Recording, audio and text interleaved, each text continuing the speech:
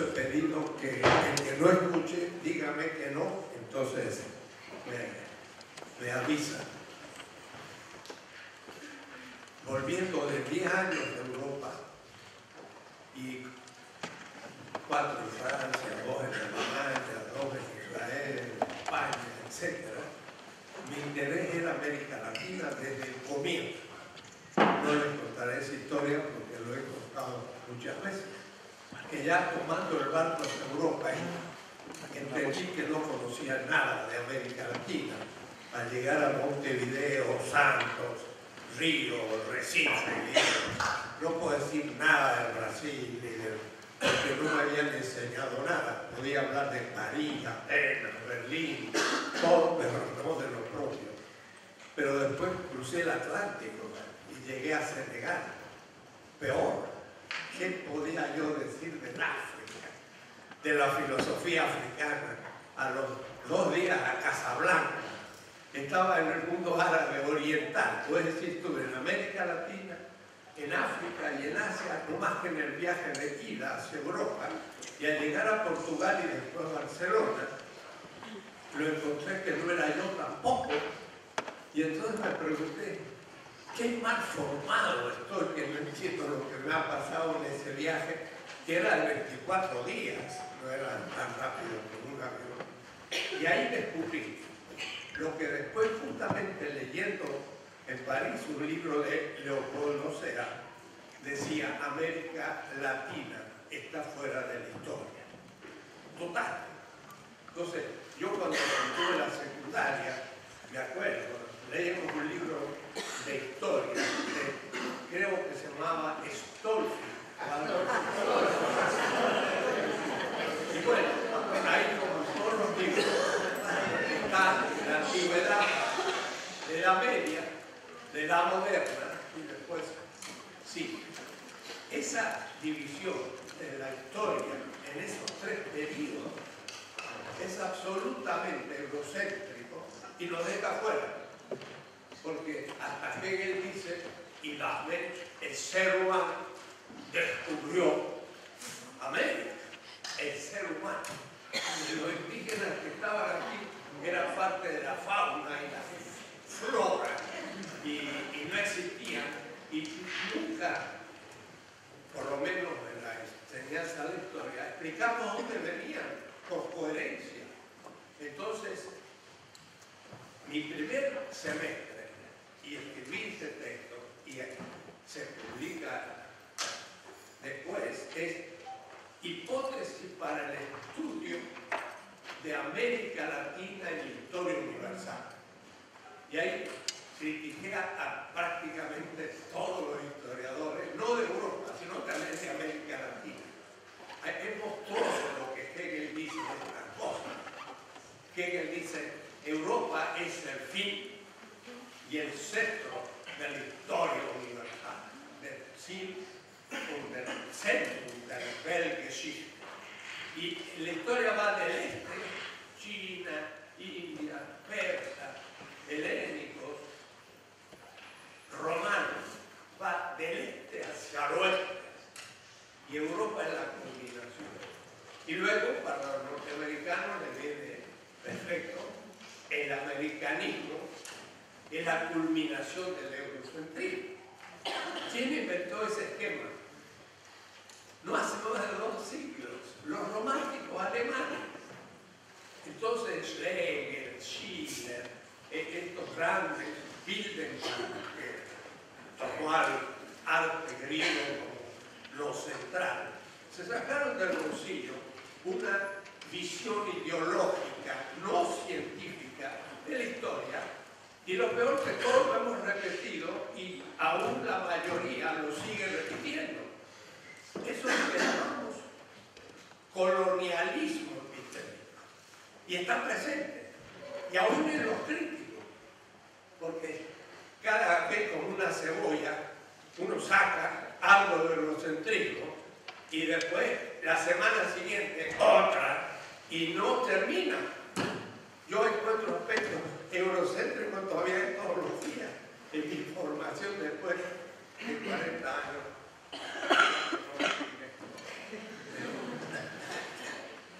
Entonces ese librito era ya un intento de otra visión de la historia, completamente distinta. Y los remito a que lo lean porque era el proyecto que empezaba a desarrollarse en 1966. Era un curso. Y de ahí, lentamente, como contaron los compañeros, pues surgió el movimiento de filosofía de liberación. Y hoy más bien lo que quiero es mostrar un poco ese paradigma y cómo se está desarrollando en este momento, después de más de 40 años. Ha logrado, yo creo, una madurez fuerte. Y es, es sistemático, pero abierto. Puede decir, Marx dice, como economista filósofo, de lo que se trata es hacer la crítica de todo el sistema de las categorías de la economía política burguesa. Lo traduzco a la filosofía. De lo que se trata es... ¿Quién tiene que hablar? Cierro los celulares. De lo que se trata de hacer la crítica, y esa crítica es ética y teórica, la crítica de todo el sistema de las categorías de la filosofía moderna. Bueno, Y entonces es una tarea larga. Y el intento sistemático no es cerrado ni ortodoxo, al contrario, es abierto como la vida, que tira ramas y que puede seguir progresando. El paradigma tiene una no sincronía, sino diacronía. Se mueve. Y si se llama liberación no es por accidente, es que hay un sistema dado. Uno, hay una negación del sistema cuando se fetichiza, negación, y luego hay una afirmación del nuevo sistema como creación. Y ahí viene el momento de liberación. Como América Latina, hemos pasado de aún los criollos, qué decir los pueblos originarios que están más abrumados, pero al menos con un presidente como Evo Morales, después de 500 años, un indígena es presidente del mejor proyecto latinoamericano presente, lo cual es extraordinario. Es importante entender que fuimos colonia, pero sobre todo mental. Fuimos colonia política. Nos nombraban los virreyes y todo. No nos acostumbramos a, a elegir las autoridades. Así que nos predispusimos a aceptar la dominación y lo seguimos haciendo hasta hoy. Un pueblo como China nunca fue colonia. Entonces no, no imagina siquiera lo que significa eso. Sus clases dominantes pueden ser dominantes, pero, no se tragan, si me permiten, el ser dominados por otros. En cambio nosotros lo admitamos casi, admitimos como naturaleza. Entonces pasamos de la colonia al neocolonialismo. Nuestros próceres liberaron algunos aspectos, pero ahí nomás ya quedamos neocolonia. Rivadavia pidió un empréstito al imperio inglés en 1824 y empezamos mal ya con deuda y nunca la terminamos de pagar. Es decir, no hemos todavía dejado la neocolonialidad y la peor mental. ¿Por qué? Porque no nos concebimos libres y no tenemos una visión teórica de esa libertad. Entonces, para nosotros, el negar el hecho de ser dominados en un sistema que se fetichiza, fetichizar sería la totalización de la totalidad. Es un concepto de Marx, pero también en cierta manera del propio Levinas, porque en su trabajo se llama totalidad. Entonces ahí, ahí empieza el paradigma racional de la filosofía de la liberación. Partimos de una totalidad. Y esa se dice en muchas lenguas, toor o toolo, decían los griegos, o la Pachamama, decían los incas, o totalité. Tanto Hegel como Gansheim, Heidegger, y lean ustedes un libro magnífico sobre la totalidad, totalidad y marxismo de Martin Jay, profesor en Berkeley, totalidad, Marcus. Entonces, totalidad es la ontología. Claro, el que no es filósofo ya dirá que estoy, que está diciendo. Cuando hablo de toda la gente simple o que no necesita reflexiones más precisas, más bien hablo de otra manera, es el mundo, como dice Jaime, el mundo de mi casa, de mi barrio, de mi ciudad, es la totalidad, es el momento ontológico. Entonces ahí yo me sitúo siempre al empezar la reflexión en alguna totalidad. Voy a hablar de la universidad, bueno, totalidad. Voy a hablar del barrio, la totalidad del barrio. Voy a hablar de Argentina, la totalidad argentina. Voy a hablar de mi vida, la totalidad de mi horizonte de comprensión. Tenemos que partir de la totalidad. Y en este punto, creo que Heidegger es fundamental. Usted dirá, ¿cómo?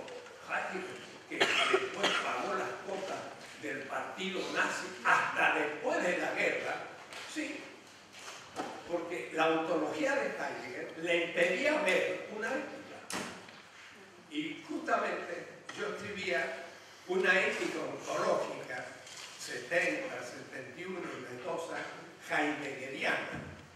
Pero además Heidegger se refería a la ética nicómaco de Aristóteles, cosa muy interesante que no he descubierto a veces y, llegando a Buenos Aires, en un encuentro que hubo con O'Donnell, un sociólogo, nos habló de la teoría de la dependencia. Entonces, ya entendí la hipótesis de Wunderfrank, Frank, que de paso fue el creador más anterior, porque él parte, Wunderfrank, Frank, allá por 1963, es un historiador heterodoxo, sociólogo, economista genial, Gunther Frank, porque está debajo de la teoría de dependencia y está debajo del descubrimiento de China. Y el mismo Wallerstein, el mismo Arrighi, Samir Amin, cuando sacó en 1996 Gunther Frank su libro Ri Oriente. Interesante. El libro se llama así. Ri Oriente. Entonces, reorientar y volver al oriente. Y dijo, la China es el centro de la economía mundial hasta 1800. Después la revolución industrial antes Inglaterra, y bueno, no voy a hacer la apología de China. Pero no crean que la China es milagro. Durante 1400 años era mucho más desarrollada que Europa. Y entonces anche tecnologica, la missione dell'ittoria, dell'ittoria della tecnologia,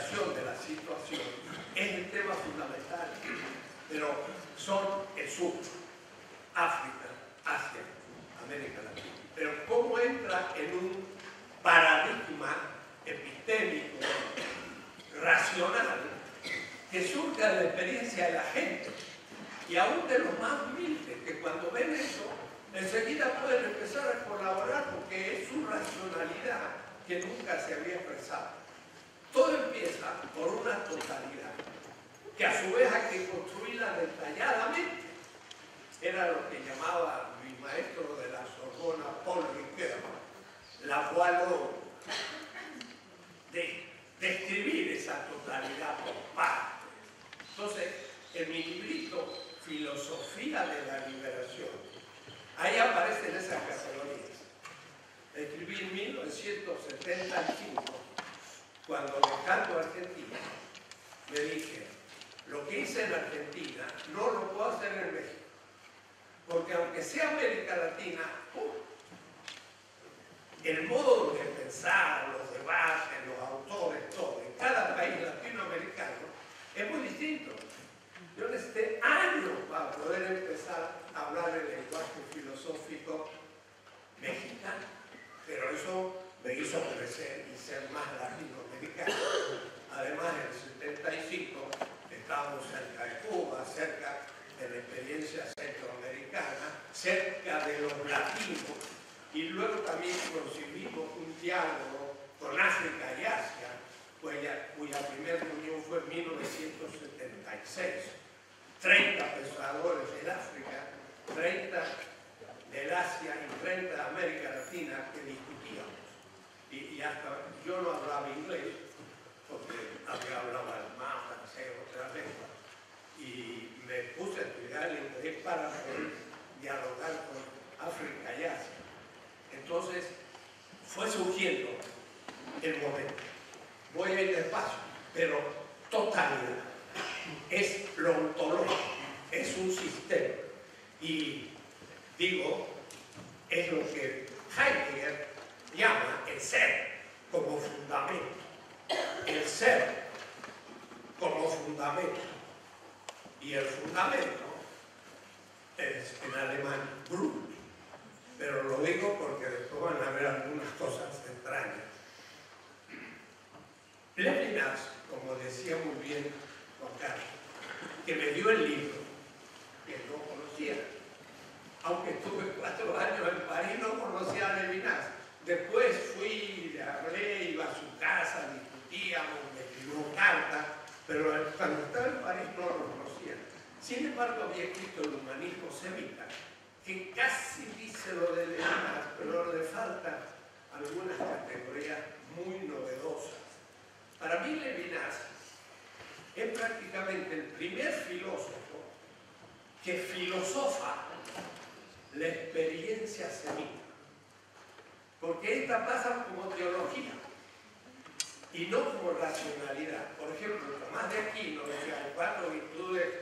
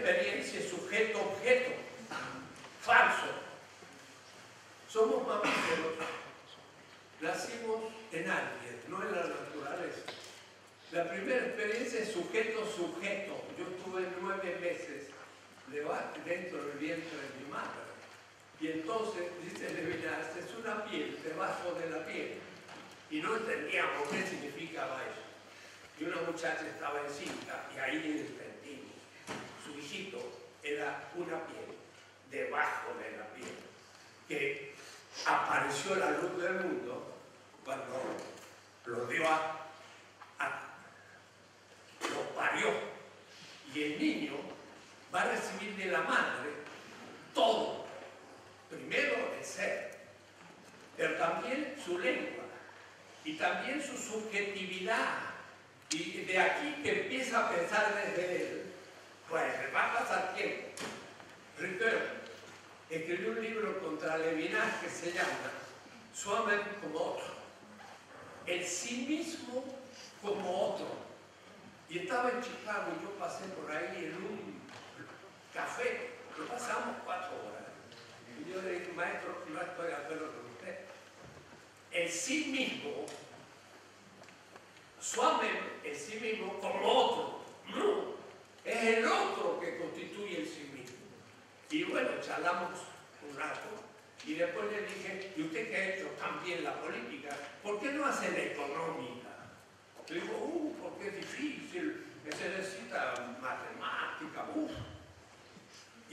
siempre y.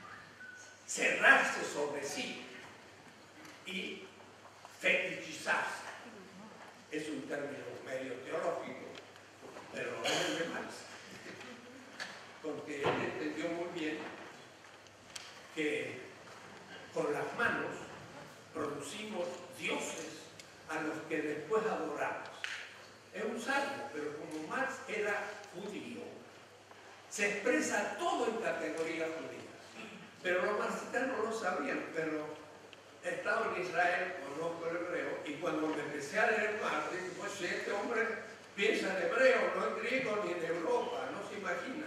Va a ser un libro mío ahora, del siglo XXI, se llama Las metáforas teológicas de Marx. Y tiene una teología completa, no se imagina. ¿Pero por qué? Porque él dice que la crítica a la teología es la crítica a la política, pero después hay que decir, y es la crítica a la economía, y es la crítica de todo. La crítica a la teología, dice más. Bueno, son temas muy interesantes que chocan, pero me gustan porque chocan. La totalidad se totaliza.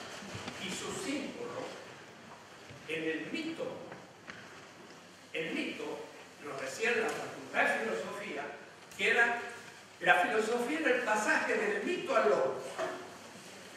Y Aristóteles dice, el que ama la, sabiduría, filósofo, es el que hace los mitos. Así que el propio Aristóteles estaba en contra de eso. El, el, que ama la sabiduría es el que hace los mitos. Un chamán de una tribu es un sabio y es filósofo, porque ama la sabiduría en el sentido más profundo de la palabra, no en el más superficial, que podría ser con precisión lógica y demás, que puede ser bien ideológico y no sabiduría, sino mediaciones puramente científicas. Hay un es Roth, y lo tomo porque es interesante, es Ernst Roth, alumno de Max Weber, hace cuatro meses estaba en Heidelberg y, y me dijo un profesor, aquí estudiaba Ernst Bloch Heidelberg, alumno de Max Weber, y el otro compañero, bueno, él tiene un libro que se llama El principio de esperanza, tres tomazos. Y Bloch, que tiene un marxista, dice, eh, voy a hacer el estudio del fruto del sueño despierto de la humanidad, que son los mitos.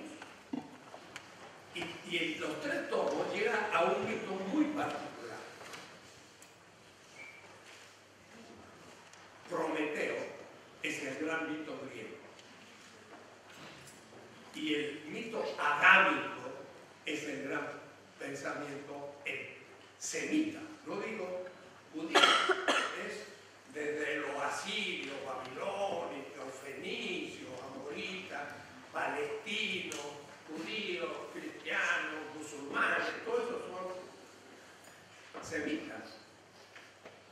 El, mito adámico corregía el, mito de Gilgamesh, que era otro mito eh, semita de Babilonia. Pero el mito de Adán y Eva no, tiene nada que ver con el pecado original. Eso lo dice. El pecado original, o cajón, es tener un cuerpo para los griegos.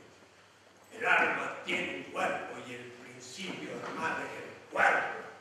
El mito adámico no tiene nada que ver con eso, no habla del pecado original, sino de la estructura de cualquier pecado y actual. Pero lo da en símbolos y hay que tener hermenéutica para poder entenderlo. Lean la obra de Paul Richter, La simbólica del mal, donde hace un análisis de Prometeo, helénico, y el mito adámico, el mal, pero en otra concepción completamente distinta. Pero no me refiero a ese mito, quiero a otro más todavía fecundo que el mito adámico, que es el mito mosaico, que para mí no es biológico, sino que es un mito racional. Mosaico es, había tal Moisés, Moisés es una palabra egipcia, por lo tanto no es hebreo. Y entonces ese mito lo analiza él muy bien, hay que verlo despacio. Egipto es la totalidad. ¿Quién lo dice? Por ejemplo, Michael Worcester, un gran comunitarista norteamericano, en un libro que se llama Egipto. Él dice, Egipto es todo sistema histórico. Entonces, en Egipto hay un faraón que es dominador y hay un esclavo. Entonces, tenemos la dominación y el esclavo. Ahí hay una relación. Y además, se totaliza la visión del faraón. Es un dios. Eso es el fetichismo. Se consagra como el fundamento divino. Tal manera que el esclavo, para poder moverse, debe negar la divinidad del faraón. O es decir, va a ser imprescindiblemente, de un punto de vista racional, ser ateo del que funda el sistema de dominación. Y esa es condición de crítica a ser ateo del sistema. Cuidado, hay que ir a poco. Pero ese esclavo desde Levinas se entiende no solamente constituido desde el ser, sino que además tiene una exterioridad, porque puede tener una lengua que no sea la egipcia, tiene una historia, son los indígenas que aunque fueron metidos en la vida, en la encomienda, en las haciendas, seguían hablando su lengua, teniendo otras tradiciones, otra política, otra económica, otra erótica. Tenían mucho, era una exterioridad positiva, no vacía, un poco como dice Néstor Lacroix, era positiva. Entonces esa exterioridad es el punto de partida del segundo momento del paradigma racional. El primero es la totalidad que se totaliza. El segundo es desde los oprimidos, que son el no ser. El ser es, el no ser no es. Sea, no ¿para qué lo dice usted? Es una tontera. No. Es tan actual que la de Parménides dijo ser es, el no ser no es. Y, y Heráclito dijo, el logos llega hasta el muro de la ciudad, es decir, hasta aquí. Y más allá del muro están los hoipolos, las multitudes, ¿quiénes? Los bárbaros, el ser griego, el no ser bárbaro. Y por eso Tasiano le dice el discurso contra los griegos, yo vengo y ejerzo una filosofía bárbara, porque hablo desde el no ser, desde la exterioridad del sistema. Entonces no es tan inocente aquello. Aristóteles dice, el ser humano, antropos, es el viviente, que vive en la polis. Y nosotros decimos es el animal político universal. Pues ahí está ya ontologizada la definición. Eso no dijo Aristóteles. Él dijo, el viviente que, habita, que vive en la ciudad. y los egipcios, los asiáticos y los europeos que estaban al norte, en Macedonia, no habitan en la ciudad, no son humanos. Ah, lean Aristóteles, pero los profesores de griego saben mucho griego, pero poco del contenido real. Entonces es una del pensamiento. Hasta Sócrates conversa con sus discípulos y le saca de a poco definiciones de todo y le dice, ¿de dónde lo sacaste? Lo saqué. No saben de dónde. O sea, Sócrates le dice, recuerdos de tu alma antes que tomar un cuerpo. Pero miren la sutil dominación.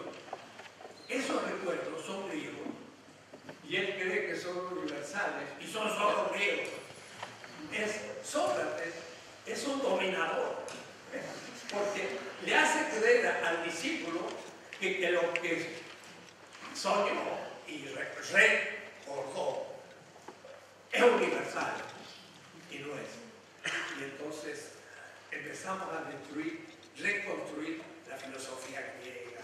Y medieval y moderna, y todo, tenemos que reconstruir todo, porque lo tenemos que hacer desde la exterioridad. Entonces, el segundo momento es negativo, y ese es el momento de Walter Benjamin. Hay que poner un freno, pero además porque es un freno ecológico y demás. No es el progreso, sino, atención, nos estamos suicidando, hay que negar. Entonces, en el momento de la negación, fue el Franco. Adorno, por ejemplo, la dialéctica negativa. ¿Y de dónde parte la dialéctica negativa? Del sufrimiento del oprimido. Sufrimiento, sistema límpido, afectividad. De ahí surge la protesta y se racionaliza como crítica y como crítica racional. Yo no soy escéptico ni postmoderno, creo en la razón. Cuidado. La razón del otro como razón crítica. Y cuando un ánimo dice razón de débole, también debilita la razón crítica. Y entonces son los postmodernos que desde que los leí aparecieron nueve años después de la filosofía de liberación. Lyotard escribe su libro 1979, nueve años después de nuestra crisis. Entonces, yo puse en mi librito, la nuestra es una filosofía postmoderna. Pero cuando me la contaminaron a la palabra, dije, transmoderna. Pero no por una cuestión lingüística, sino para distanciarme de los postmodernos, que son el último momento de la modernidad, pero escéptica, nichiana, racista, eurocéntrica, y pasan por crítica. Pero hay que verlo cuando funcionan en lo concreto.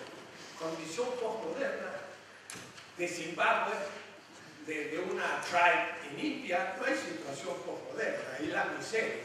Entonces, bien, este es el segundo momento, la negación. Pero el más importante es la tercera, que es la creación del nuevo. Y la creación del nuevo sistema es el momento 3. Y es la tierra prometida, sí, la tierra prometida. Pero eso es lo más difícil. Y eso es el concepto de liberación. Es liberación del esclavo. Es afirmación del pecado. Y entonces ahí empezamos a tener un modelo diacrónico y no sincrónico. Porque casi todos los autores en política, en economía eh, y demás toman una totalidad y la analizan sincrónicamente. Pero en cambio, usted lo hace diacrónicamente y dice, la ley. Bueno, la ley es necesaria para que funcione el sistema. Y en todo sistema tiene que haber ley,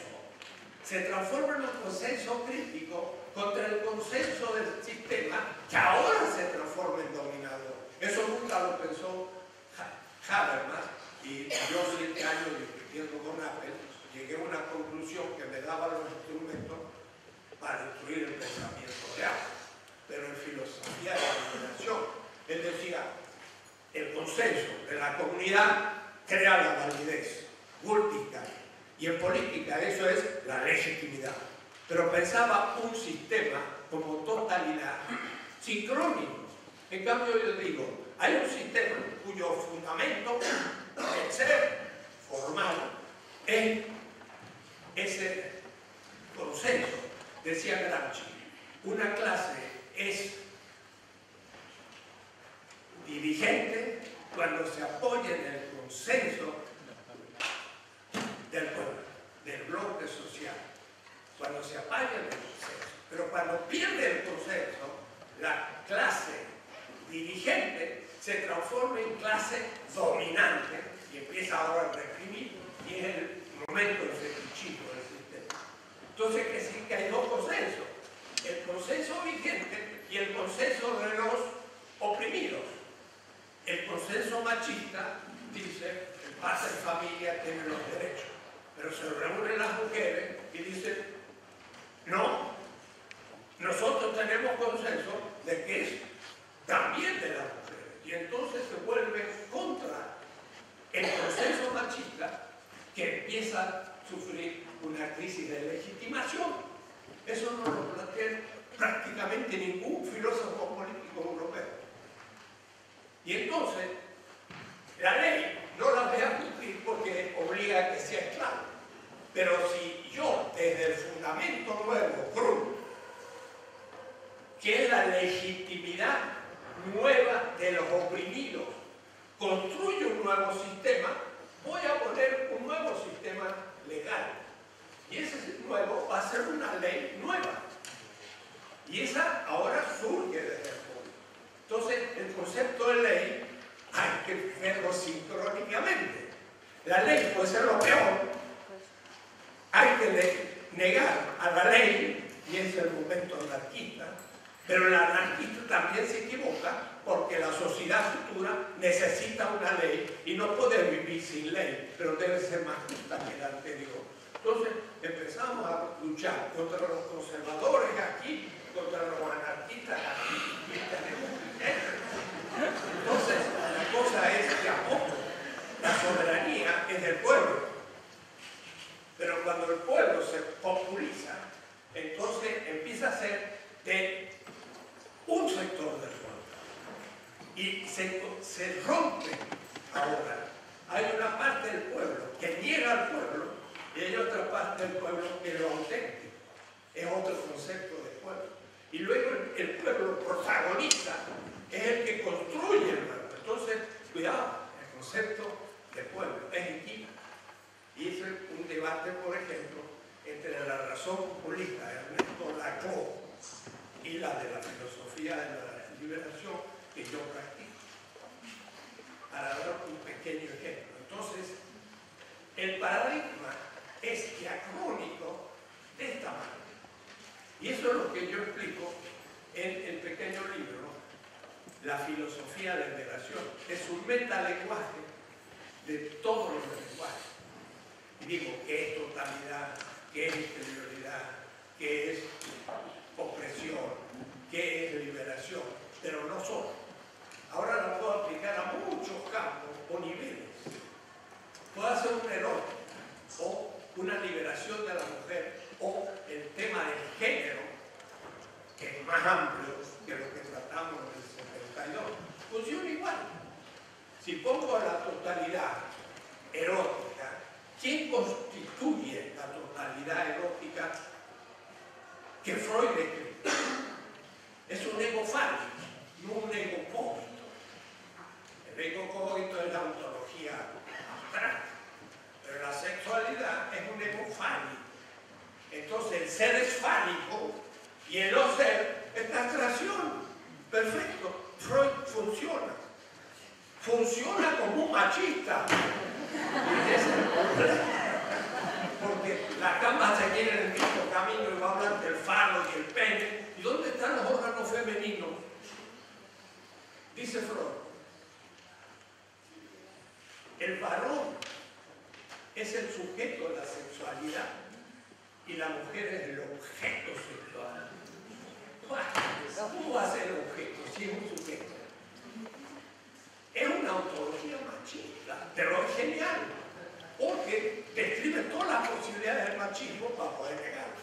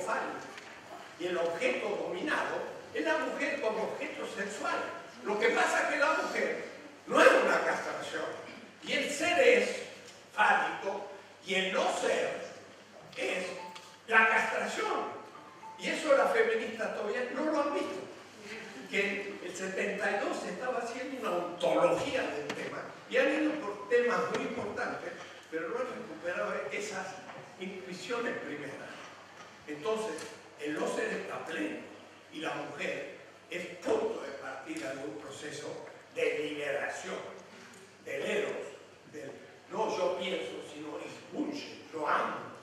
Y entonces ahí hay que construir una nueva erótica y una nueva casa y una nueva pareja y todo nuevo. Eso es la segunda parte de la filosofía de liberación. Y la primera son las seis grandes categorías. En la segunda se aplican a cuatro niveles prácticos. La seis, el erótico, totalidad, exterioridad, mediaciones, etc. Pero después, por ejemplo, si paso a la pedagógica, es lo mismo. Agarro al curso del gran pedagogo de la modernidad y digo, ahora, ¿quién es el ego? El ego magisterial ¿Y quién es el dominado? Emilio y entonces le mete la cabeza el maestro hasta las autoeducaciones de la Pestalozzi. Es fantástico, tiene un libro que se llama La autoeducación, el. Y en primer página dice dictato, un dictato. Y dice, el rey Víctor Emanuel, qué sé yo cuánto. Compañera, ya le está metiendo la monarquía, ¿dónde viene la autoeducación? No se había dado cuenta, porque era monárquica. Entonces no era tan autoeducación. La pedagogía y la dominación, Pablo Freire. Pero el filósofo le pone los fundamentos a Pablo Freire. Éramos muy amigos y me reconocía que nosotros le construíamos el fundamento de su pedagogía de la liberación o de la dominación como dominación en el sistema pedagógico, política, lo mismo. Puede decir, uno domina al otro. ¿A quién hay que leer? Hobbes. Entonces hay un individuo que domina a otro, que lucha a muerte. Y para no matarse hace un contrato surge el contrato político. Una construcción irracional. Que lo, lo, se repite en todas las facultades de política, derecho, usted. ¿Cuántos ustedes han visto un individuo? Yo digo, no debe tener ombligo. Porque si es hijo de una madre ya tuvo una comunidad familiar antes que él. Nunca hay un individuo como Rómulo y Frémulo que bebieron de una loba. Porque una cosa es Robinson Crusoe perdido y otra alguien que nació solito. Si nació solito, no sabe hablar. Anda en cuatro patas y no va a ser nunca humano porque no tendrá un mundo, ni lengua, ni nada. Entonces, ese individuo metafísico perdió la unidad y se relaciona con otro abstractamente. Pero la razón para hacer el contrato es que no se mate. Pero no esclareció el fundamento, que era que la vida era importante. Y ese es el primer principio de la ética. Job no le entiende. Entonces, a Job no hay que permitirle ni a la primer página. y a Adam Smith, mejor. Porque Adam Smith usa el mismo modelo. Yo soy un sujeto productor y produzco zapatos. Y el otro produce pan. Y luego por una tendencia al intercambio, claro, yo me voy a comer zapatos y le cambio zapatos con pan y nace el contrato económico. Y lo uso. Eso más se llama Robinsonadas. Porque hay comunidades, justamente el punto del pueblo. Toda la filosofía moderna, ideológica, hasta Popper, hasta Havel, hasta Gama, no Walter Benjamin, porque München tuvo un excelente profesor de pensamiento azteca, no se imagina, eso no lo han descubierto todavía, pero hay un muchacho que lo conoce muy bien, está escribiendo un artículo, y entonces Benjamin entendió que el azteca, el indio, era realmente algo fundamental en la comprensión de Europa. Benjamin, porque era un judío que también de alguna manera era exterior a Europa. Por eso interesa eliminar, no por judío, sino porque es una experiencia exterior a Europa, al más nivel. Y entonces yo no soy judío, pero me como latinoamericano. Lo mismo en la economía de Adam Smith. Y entonces eh, vamos desarticulando todos los sistemas categoriales desde otra posición. No es infantil, no es una chicotada que oh, eh, vamos a partir. No, no, es una labor racional, ética, cultural, de compromiso con los oprimidos, porque es la racionalidad más profunda de la historia. La historia funciona desde los oprimidos y no como pensaba Hegel, desde los opresores.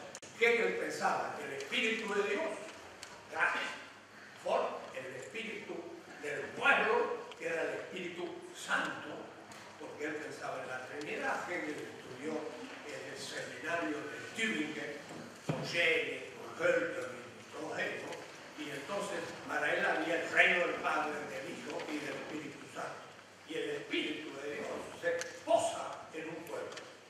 Y luego que, digamos así, lo ha chupado, pasa lo otro pueblo. Y después sigue otro.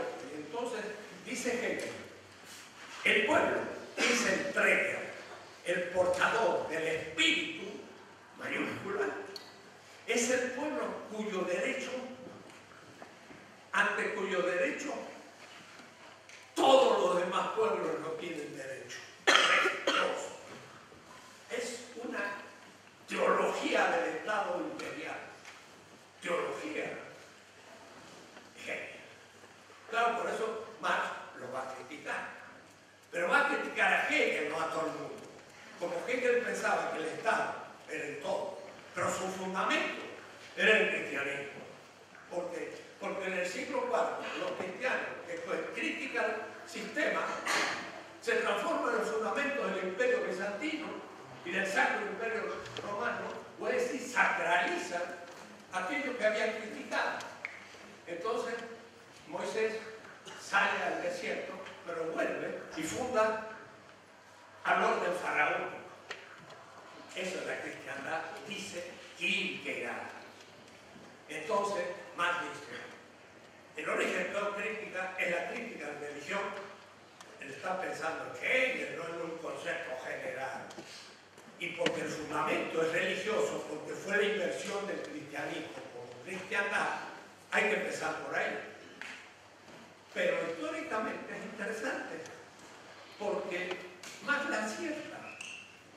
Había un tal Jesús, que no era sacerdote,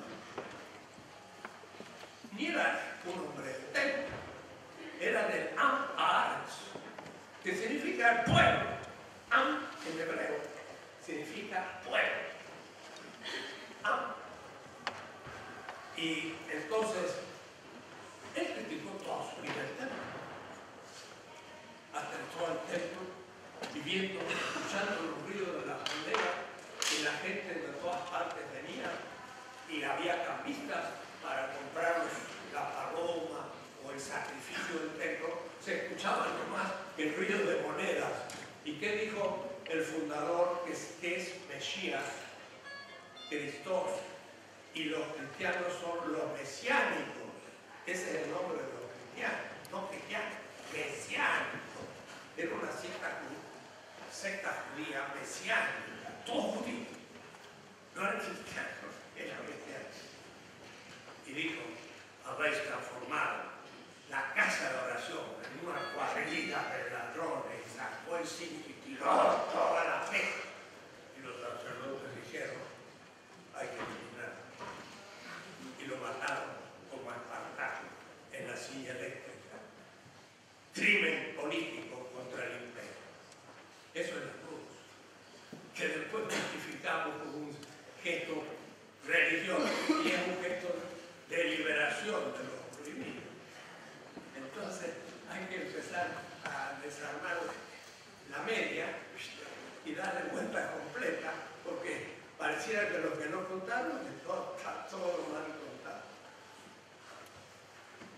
Eso sería la política, una política de liberación que critica el sistema, que desde el pueblo y desde los oprimidos ya no se basa en la potencia del sistema, sino en la hiperpotencia del pueblo, que tira abajo el sistema y que crea otro. Y ese es el tema de Pablo que Badiou, una cita nacional, plantea Pablo y el universalismo, y que Chiche el títere y el enano, Taues la teología de Pablo, siendo el judío.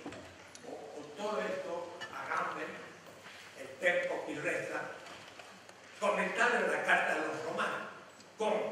Estamos haciendo teología, no filosofía. Filósofo.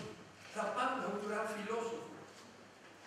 Tengo un libro grande, publicado en inglés, dice, Paul, filósofo, era un amante de la sabiduría. ¿Y qué dijo?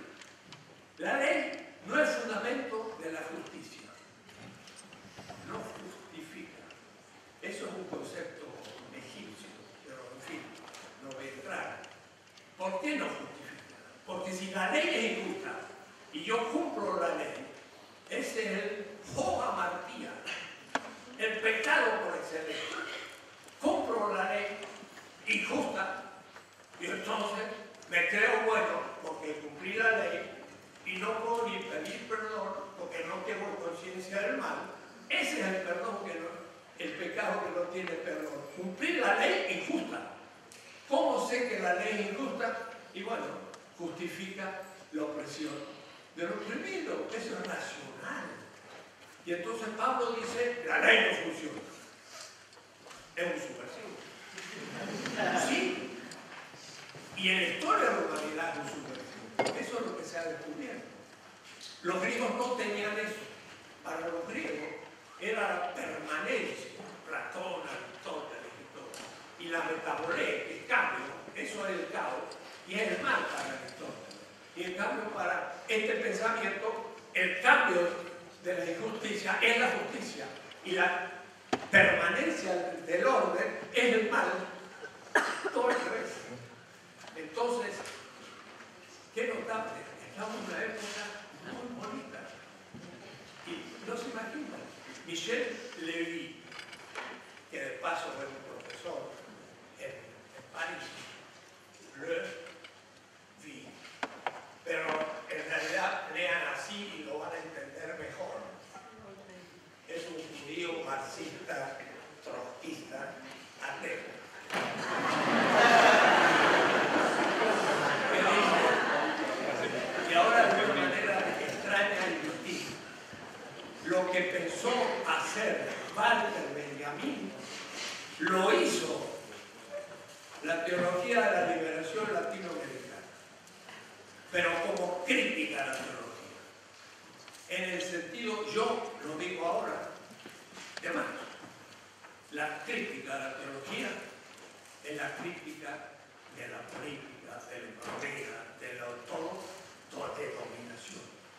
Entonces, tenemos un panorama muy interesante, lo hemos, en la filosofía de la liberación, lo hemos anticipado 40 y 50 años a los europeos, teóricamente y prácticamente. Puedo decir que la cosa es fuerte. Y, la filosofía de la liberación no parte solo de una historia de las ideas latinoamericanas. Primero debe partir de la historia, que es lo más importante, latinoamericana. Y de la historia de las ideas, para ver si esas ideas confirman la historia o la fetochizan. Por lo tanto, tenemos que tener un criterio de decir, este filósofo no servía para nada. Como nuestros positivistas, eran racistas, eran anti pueblo y universalizaban la ilustración, la ilustración, la Aufklärung,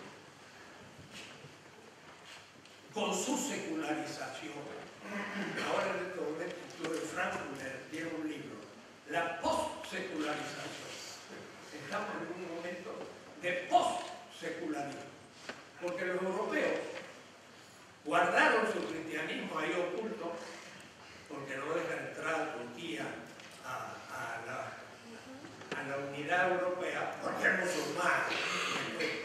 Dejan entrar a pero cristianos, entonces pueden entrar. Entonces, tiene su cosa. Pero al destruir la religión, la ilustración, destruyó todas las culturas del sur. Porque todas las culturas, la china, la india, la musulmana, la bantú y latinoamericana, tenía un mundo mítico que le daba sentido a la existencia. Que al llegar eso lo dejó desnudo. Y eso es la condición de posibilidad del universalismo que metió en la cabeza la élite, y la élite lo hizo contenido de los programas de educación del señor Sarmiento, tan genocida como loca. Perdón pero fuerte. Civilización y barbarie. ¿Cuál civilización? La que dice que los ingleses se transformaron en los misioneros, mira, uso una palabra antigua, de la civilización en el mundo. Esa es la de Perdón, pero soy argentino. Y hay que decir las cosas como son. Él negó su origen indígena, que lo tenía en sus almas, porque su madre estaba tejiendo en un hilar indígena y lo tenía además pintado en su cara, que lo negaba y entonces, ¿cómo? Se puso un sombrero cilíndrico, frac, para no vestirse por los gauchos, el poncho, que es medio indio y medio español, y todo eso lo negó. Y bueno, la consecuencia es como soy duro. ¿Qué le voy a hacer? Pero soy coherente. Entonces, no puede ser, hay que empezar muchas cosas distintas. Porque si no, estamos lo de siempre. Tenemos que ser honestos y valientes del estilo que uno piensa. Esto lo dije en una de las semanas académicas del Colegio Máximo, en el año 73. Pueden ver los textos de Troma, que le pegué duro a Sarmiento. Tanto que el profesor Leopoldo Sea fue a San Juan hacer un desagrado a por el había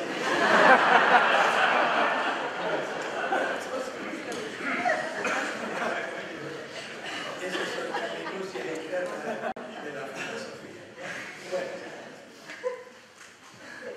esto se sigue avanzando, porque los últimos textos que yo he escrito ya van eh, elaborando lo que yo llamaría distintos campos filosóficos.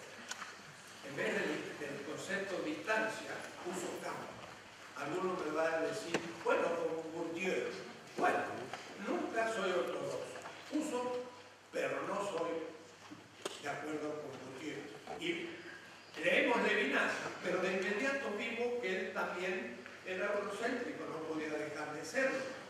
Y yo cuento la anécdota de Loaina, cuando yo le dije a Levinas, maestro, usted habla del Shoah, el holocausto judío, del cual yo también hablo y es una cosa feroz.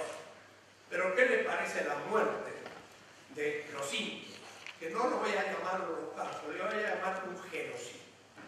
¿Y qué le parece a usted la esclavitud? Millones de hombres que justamente hoy un gran filósofo africano ha hecho un libro tremendo, crítica a la zona africana, se llama Bell.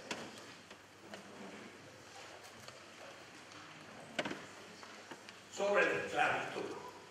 Y Levinas me dijo, eso debe pensar usted. Pero honestamente, él cuando era latinoamericano no conocía qué había pasado y habló de su pueblo judío, su familia fue liquidada. Él se salvó porque como sabía distintas lenguas, bueno, pudo sobrevivir en un campo de concentración y al fin nació, pudo salir. Yo sobreviviendo, como muchos de nosotros Y entonces, eh, justamente tenemos que pensar la exterioridad no solo de un judío en el holocausto europeo, que todos hablan de eso, sino en el genocidio, en la conquista, la tortura desde el nacimiento a la muerte de un esclavo, que es una cosa feroz, que tomaban un campesino libre y, y lo ponían como animales en Cartagena de India, desnudos, le tocaban los órganos sexuales, miraban los dientes como a los caballos y lo compraban y lo llevaban y estos se juntaban con la pareja que le procreaban un hijo y lo vendían. No tenían derecho ni a la estabilidad de una pareja ni de un hijo. Brutal. Torturado desde el nacimiento a la muerte, como dice el Bento.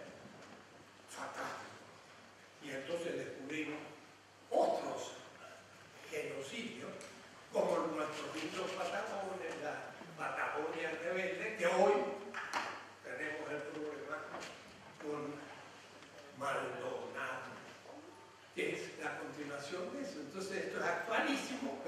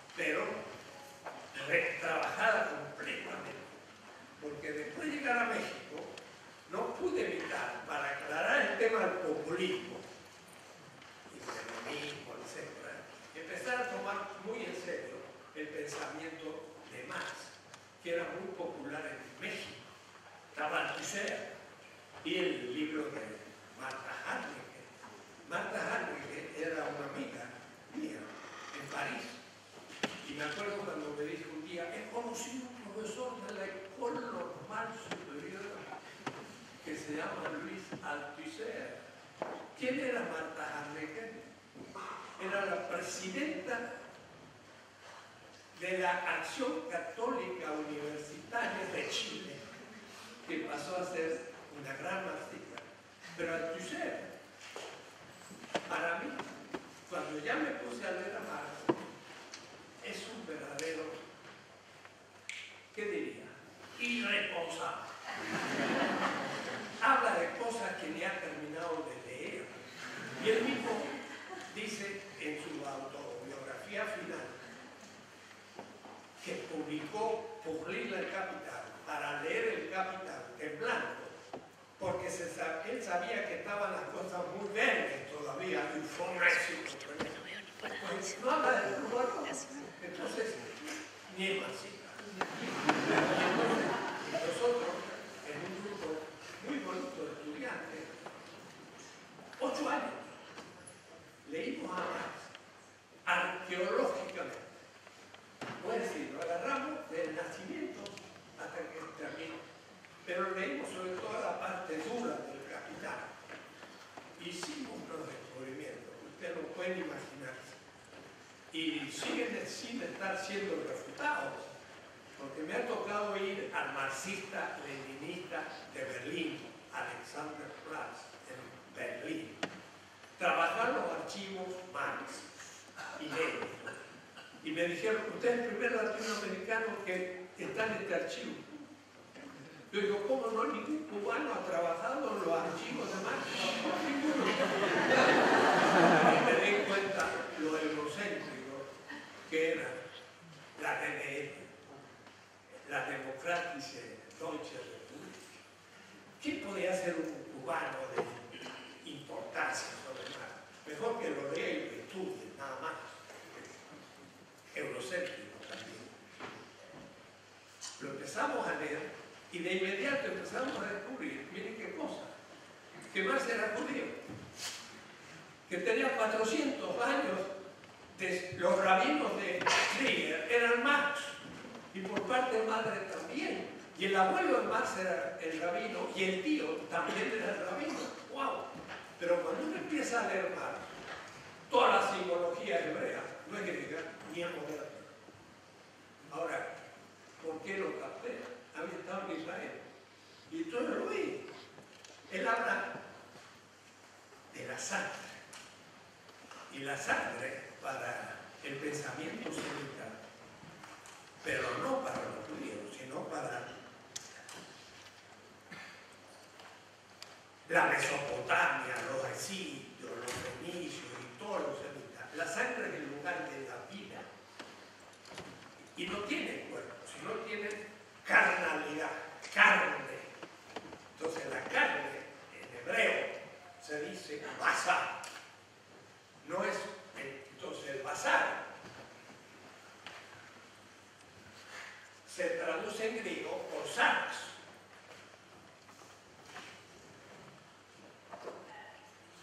Y eso a veces se traducía por cuerpo o por carne. Y ahí venía la equivocación. pero la carne es el ser humano completo. Y el complemento es la sangre, que si se la saco, muere. No hay alma. No hay dualismo.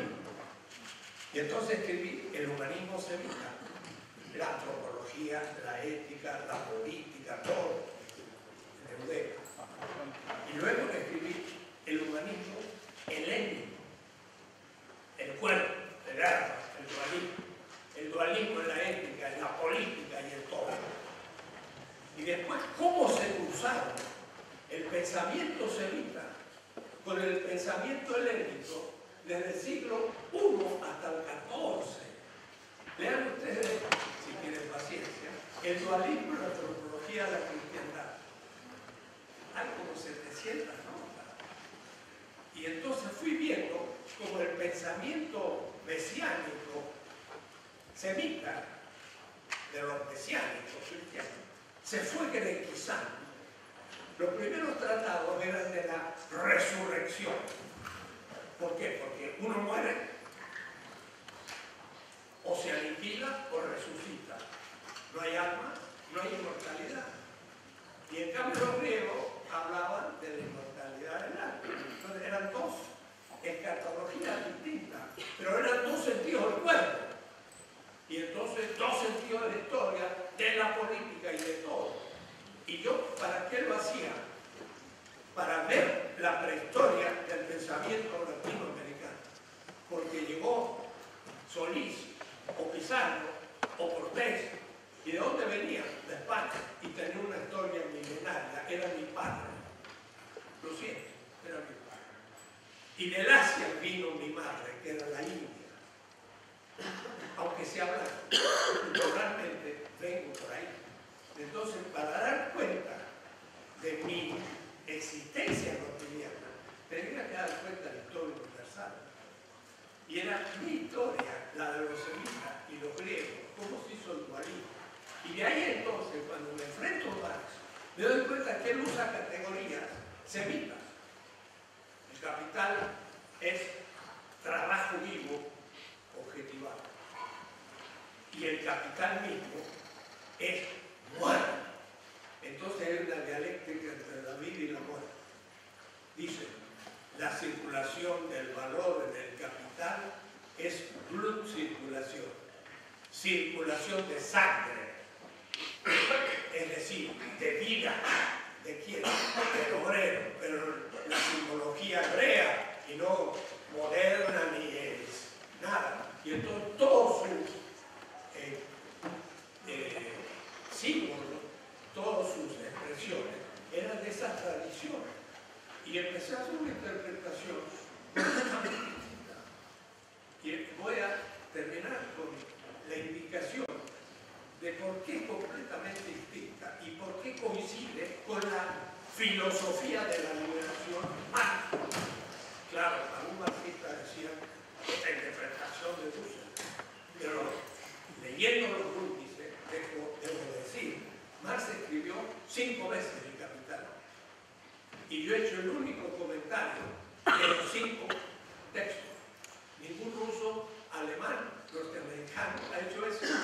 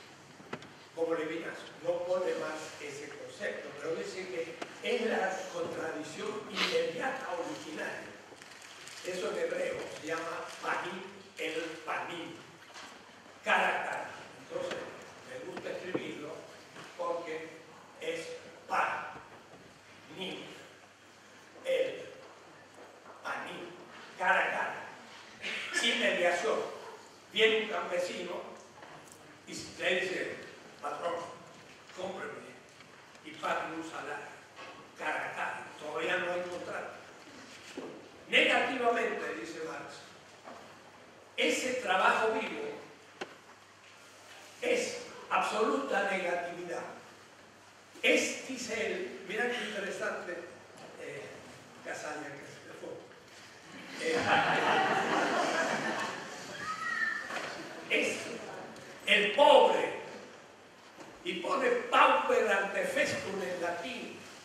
Es un pobre, antes de ser clase. Dije, ah, entonces teníamos razón, la opción por el es anterior a la opción de clase. Y me decían, eso es místico. Y era Marx. El, el que viene del campo y todavía no es obrero, le dice al patrón, compra. ¿Por qué? Porque es la absoluta arma, la pobreza absoluta. No medios de producción, no tiene comida, no tiene vestida, está desnudo, dice Marx. Es el pobre de Levinas, hasta la desnudez que Levinas describe, la dice Marx explícitamente. Negativamente es un pobre, pero positivamente, ah, cáiganse, cáiganse. Dice Marx, es la fuente creadora del valor desde la nada. Y cuando yo leí eso, dije, la metafísica de la creación se evita. Y, me, y el marxista-leninista, 1884, un año antes de la perestroika, trabajando en Berlín, me dijo uno de los editores de Marx, del inédito al alemán. No hay en el mundo gente que conozca a Marx, porque son los editores de Marx en alemán. Como discutíamos, dice, "Ah, hagamos una reunión. Y subimos al cuarto piso. Vicepresidente del marxista leninista, bien alineado, pero investigadores. Yo le dije, ¿ha visto que más habla de la creación? ¿Dónde? Ahora yo tomo de ellos, aprendo, y es lo más frecuente en todo el capital. Marx dice, bueno, quizás la mayoría no entienda lo que voy a decir, porque no conoce las categorías de Marx, pero la voy a decir con precisión. Dice Marx, en el tiempo necesario, socialmente, el trabajo reproduce el valor del salario. Quiere decir que yo trabajo tres horas y ya produje lo que me van a pagar como salario. Y después dice Marx, en el plus tiempo, del plus trabajo, el trabajo crea valor de la nada y nunca pone produce ni reproduce. ¿Por qué? porque aquí, atrás del tiempo necesario, hay un salario que le ha pagado el capital.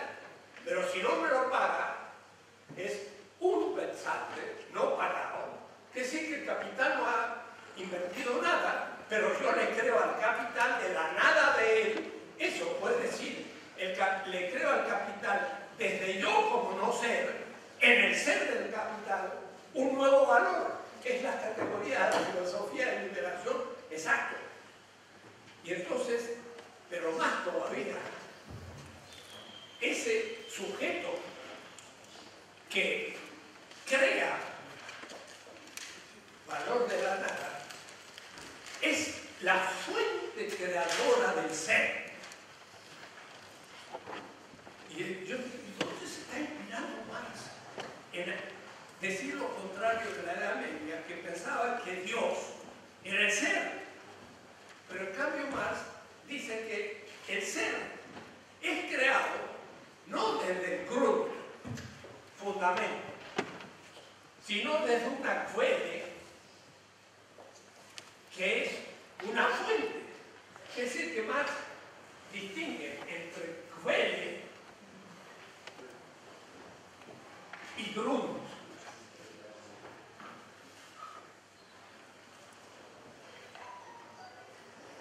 Quelle fuente, Grund el fundamento. El fundamento es el ser, pero la fuente crea el ser. Heidegger va a decir, el ser humano es el pastor del ser, porque ha comentado en el 1917 Shelley que en 1841 tiene unas lecciones sobre la revelación. Y la revelación es justamente la apertura del otro al mundo, porque el otro no se manifiesta como el vaso, sino que como es un mundo, se revela o no se revela. De lo que no hay palabras, es necesario guardar silencio. Wittgenstein, tesis 7, y se terminó el tratado lógico filosófico. Yo no puedo hablar de ti si no me revelas quién eres, porque eres otra historia. Y de lo que no puedo hablar, debo guardar silencio.